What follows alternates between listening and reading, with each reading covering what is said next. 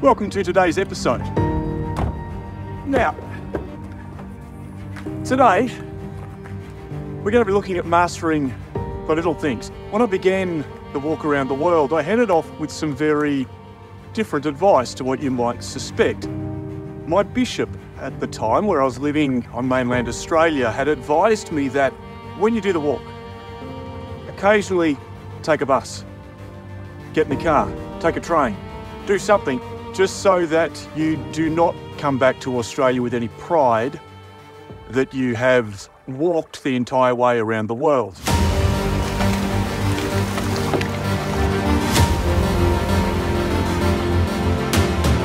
fact, the walk wasn't even about drawing attention to disunity. We didn't do any media coverage. There was media coverage that generated naturally on the walk, but we weren't actually trying to get the media involved. The whole point of the mission was simply to meet people face to face. And the best way to do that turns out to be walking.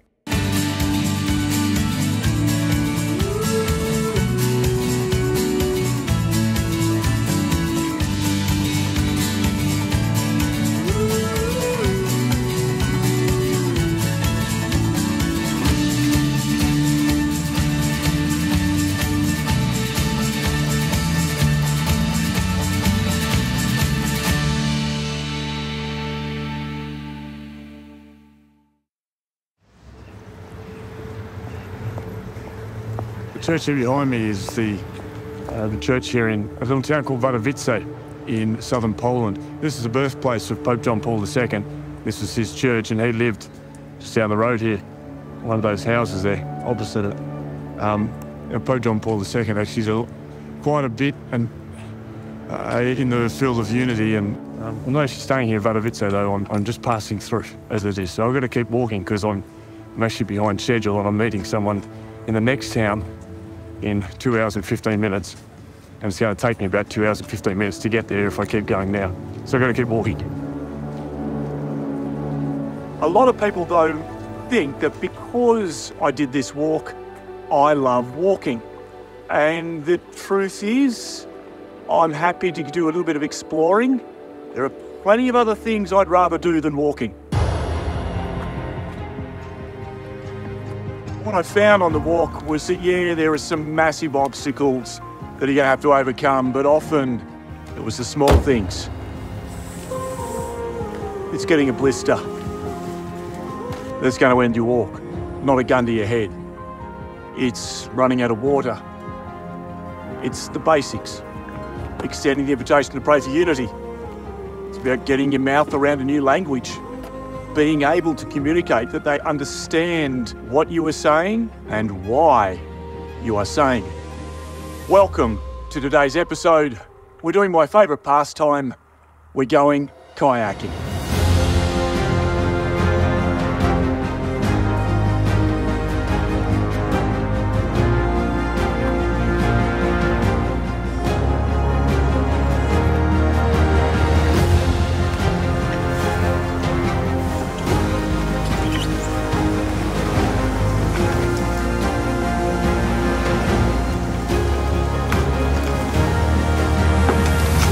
Yes, we're doing an episode on mastering the little things, and this isn't going to set up.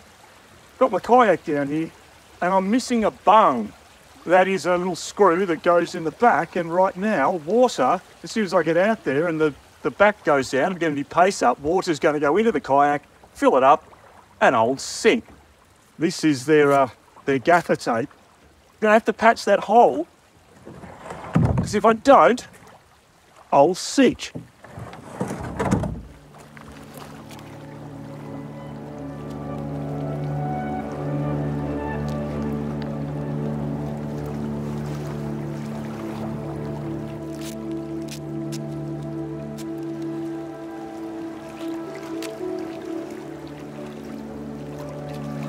Now, the good thing is, I do have a degree in mechanical engineering, and that means, effectively, I have a degree in how to use cable ties and sticky tape effectively. There we go.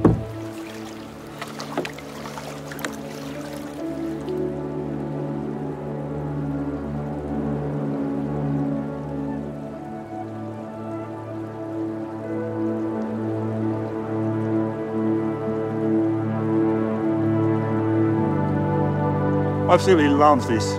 It's just phenomenally beautiful. I enjoy the peacefulness of kayaking.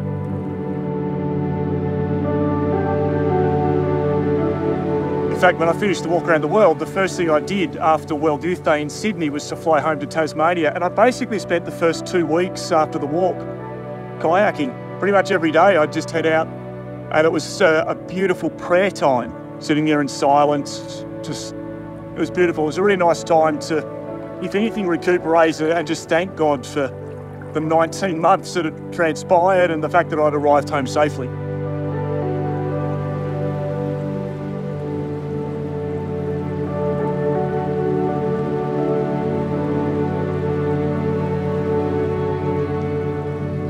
mission work is something that can be very simple but also very well, fraught with danger.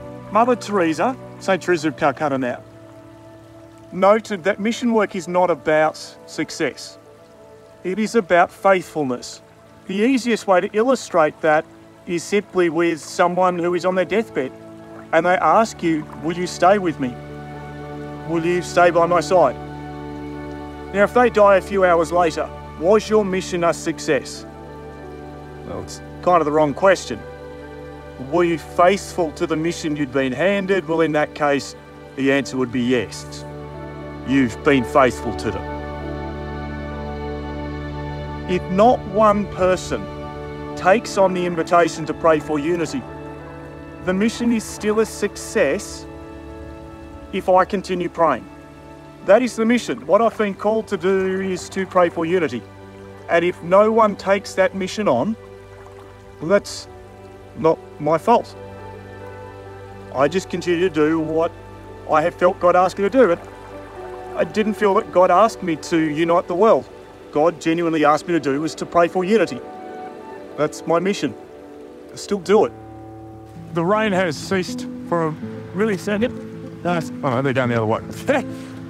Uh, very pretty though. You see up in the hills here. The hills that covered with trees and the autumn leaves are still on them. There's a big dam down here with a river. What's the river called? Soła. The Soła. The Soła River. And there's snow on the hills up ahead of us. So it's a bit of a cold day. We're going to find somewhere to have a rest in a minute and have some lunch, have first lunch.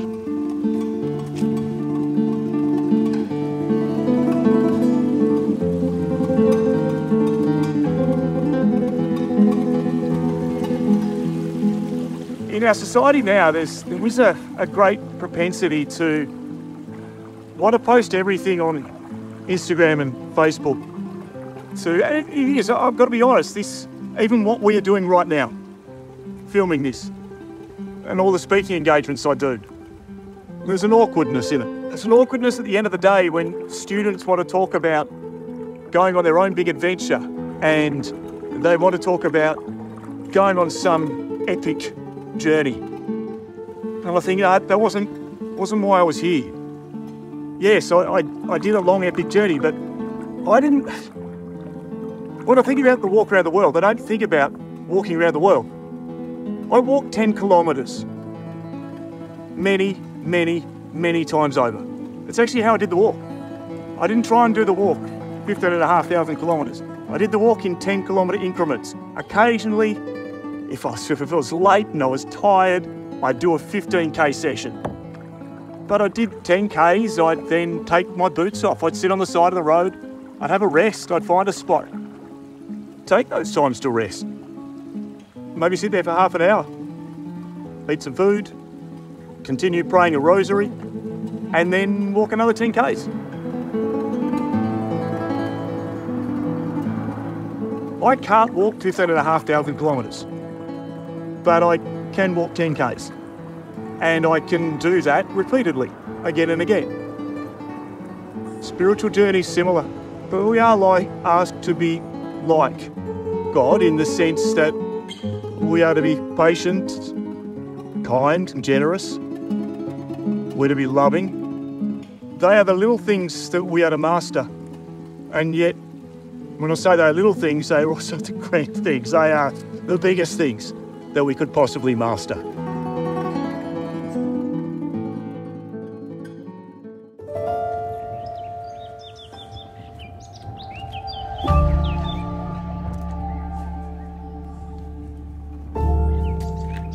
Ja, this morning heading off from Androv to Southampton.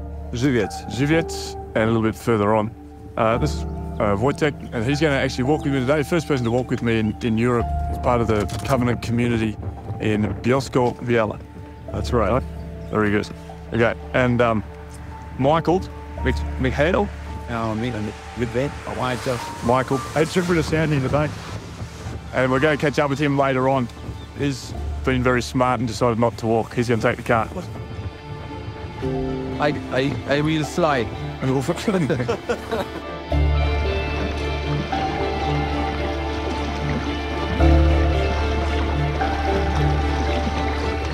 There's one particular guy on the walk around the world who stood out regarding his actions towards what I was doing. There was one guy I met though in Poland, and his name is Wojtek. Wojtek is an orthopedic surgeon, and when I met him and he found out what I was doing, he asked where I was walking the next day. I told him where I was about to walk, which was actually up over a small mountain range in southern Poland, and he said to me, Look, there's a blizzard forecast tomorrow. Now, as soon as he said that, I thought, Here we go. He's about to offer to drive me. But before I could say, Look, I'm going to walk, he said to me, I know a safe route. I'll call in sick tomorrow for work, and if you're happy, I'll show you the way through the safer route. But Wojtek was the first local to walk a full day with me and to offer to show me through a really dangerous area. He rocked up right on time, and we had the most stunningly hilarious day walking with each other. Uh, the, the day was awful. It was such, the weather was horrible. The weather turned ugly. Um, big blizzard. Wojtek and I went through this deep valley Wojtek decided to bring along with him a trumpet. He'd found an old school medieval trumpet along with his mate Michael. They found two trumpets in a garage sale. Neither of them could play. Didn't stop them from purchasing these two trumpets.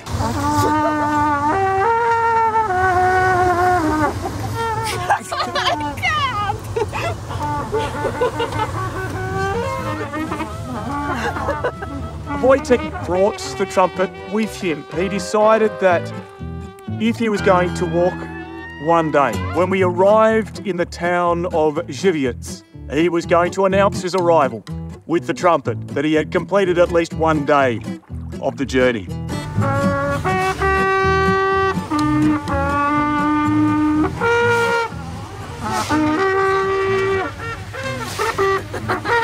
As we were walking along, and this is one of those happy memories of the journey. This is what people do on an idle Saturday in Poland. it's raining, there's no soccer to play, so they drive around playing trumpets. we arrived in Żywiec, freezing cold, wet. Wojtek grabbed the trumpet off the top of his uh, backpack. He attempted to announce our arrival in the village, but forgot to check the fact that the, the trumpet had been sitting upright all day. It was filled with water, so his first blow of that trumpet was nothing more than a whole heap of water, a whole heap of gurgling. So emptied that out and then announced his arrival.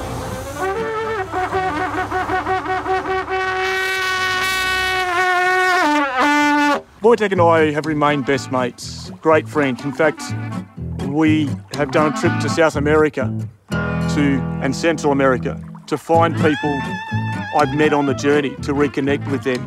On so many occasions, when I was walking along with Wojtek, we would stop, we'd meet people. There's a couple of little villages, stopping at the churches, and uh, Wojtek did all the talking for me. He actually really enjoyed it. He seemed to revel in being able to extend the invitation to pray for unity and to explain what the mission was. We had a, a beautiful day. You could almost say it was a successful day. But what resonated with me for that day was that Wojtek was faithful to that mission. We prayed as we walked along. We interceded together. He extended an invitation to pray for unity. Yeah, he helped me to get to the end of the day. Back in communist times, the the people in Poland weren't allowed to build a church or attend church, but the community here needed a church. So they got together, did all the planning, and they built this church behind me in 24 hours. One day, one night, 24 hours straight. Started and finished it. I needed to do it so that the authorities wouldn't come along and tear it down before it was finished. But It's not mad work for 24 hours.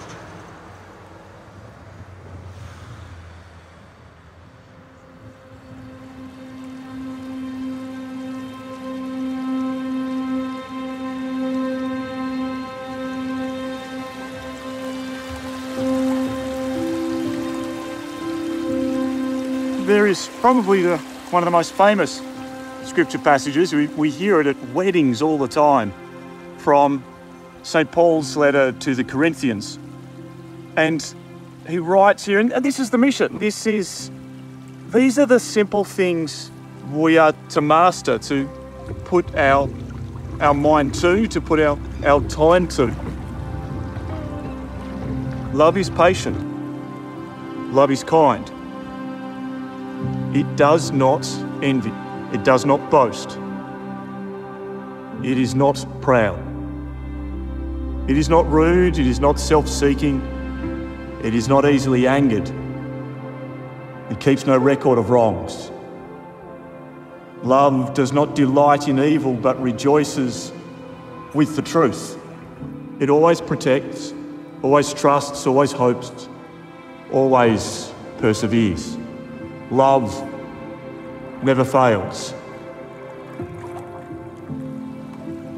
Our mission in life, what we are called to do for most people, it's actually fairly simple. And it is a mastery of those small things. Holy Father, thank you for the gift of prayer, for the amazing witness of prayer that you've given us. Pray, Lord God, that you would help us to be patient and kind, that you would help us to navigate our way through the mission of life and the daily missions that we are presented with. Pray, Lord God, that you would help us to grow in love. May all you holy men and women, all you saints and angels, please pray for us. Pray this in your name, Lord Jesus. Amen. In the name of the Father, and of the Son, and of the Holy Spirit. Amen.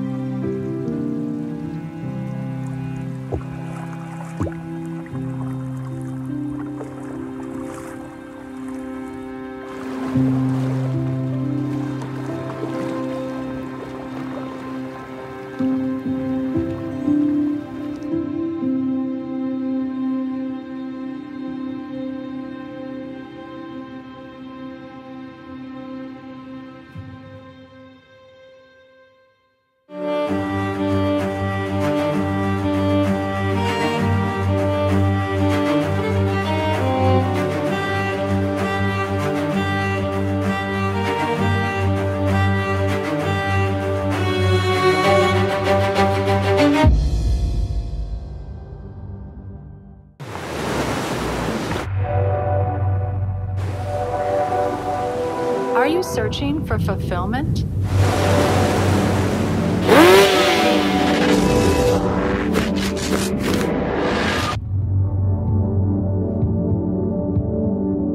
Discover true happiness. Stay tuned to Shalom World.